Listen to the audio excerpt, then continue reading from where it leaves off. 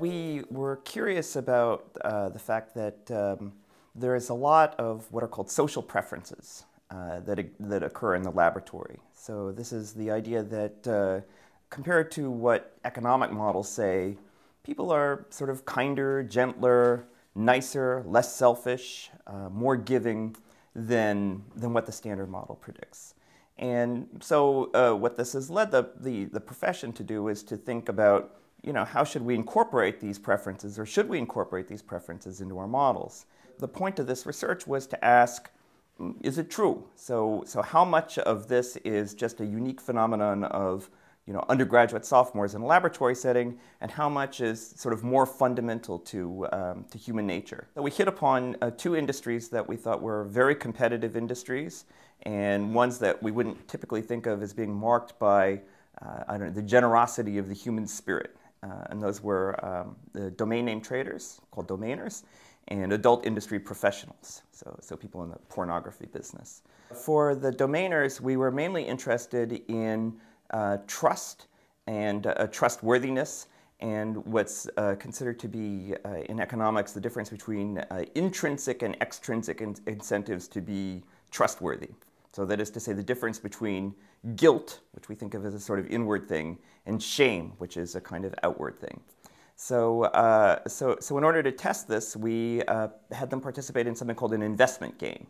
And so in an investment game, they have to decide whether they want to invest uh, with a randomly chosen partner. They don't know who their partner is. And if they choose to invest, then they risk some money, uh, which they could have kept. Uh, but the upside is that if they invest, then the money is tripled in value, roughly. However, it's a little bit uncertain. So sometimes the investment can pay off, and sometimes the investment can't pay off. If the investment pays off, however, the partner now has control of all of the money. And the partner can decide whether to give back any of that money, any or all of that money, uh, to the person who, uh, uh, to the investor, uh, if you'd like. So to a trusting response is to invest, right? So you have to trust that your partner is actually going to give back the investment if it's successful and that you'll get a return on your investment. And trustworthy behavior is from the perspective of the partner, do you give back the money or do you keep it? Now for the inside versus the outside aspect of it. So uh, in the guilt treatment, uh, we had we don't actually say whether the investment was successful or not, right? So the only thing that the part the partner could always sort of pretend he's got plausible deniability that in fact, look, the investment didn't work out. I didn't give you anything back because there was nothing to give back, and that happened with a small probability.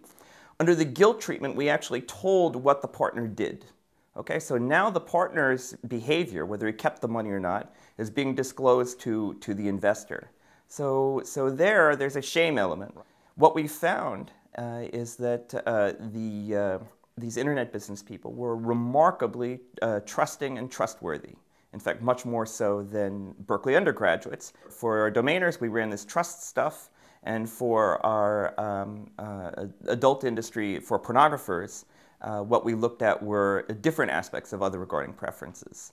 So here we were interested in altruism and uh, what's called lying aversion.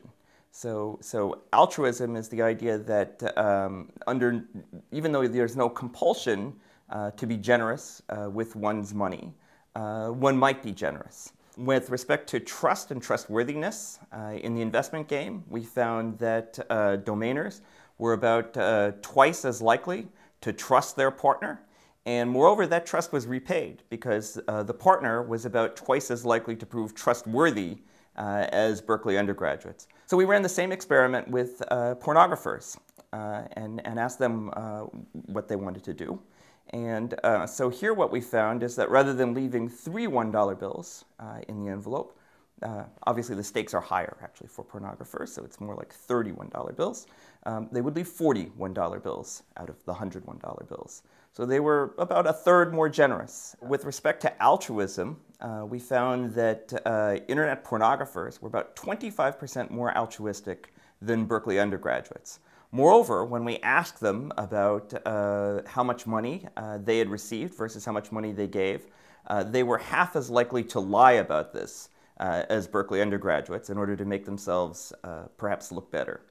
After we had the, the, the results of these experiments, uh, we puzzled over it. We scratched our heads as to what could be going on. And we actually talked after the experiments were over to a lot of the subjects in our experiments to ask them, you know, what drove them, what motivated them. And uh, I think the, the story that we thought was uh, most compelling, we heard this from a number of uh, the domainers, uh, went something like this. Look, in the domain business, um, the law is not actually very well worked out. So unlike, say, real property, uh, where you know, there's a formal court apparatus and property rights are kind of well established and contracts are well established. The internet is more like the Wild West, right? So there's not the property rights and lawyers and things like that. Things are not so well established.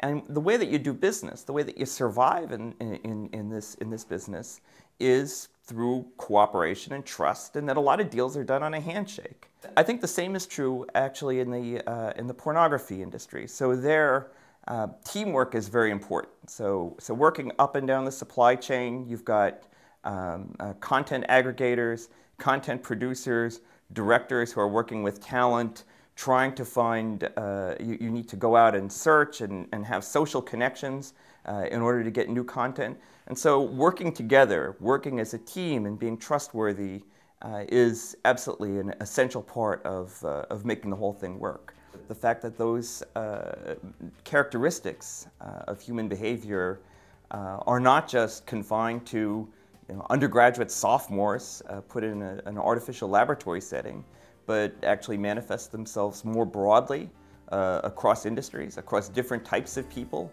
uh, I think is, it makes me feel better about living in the world.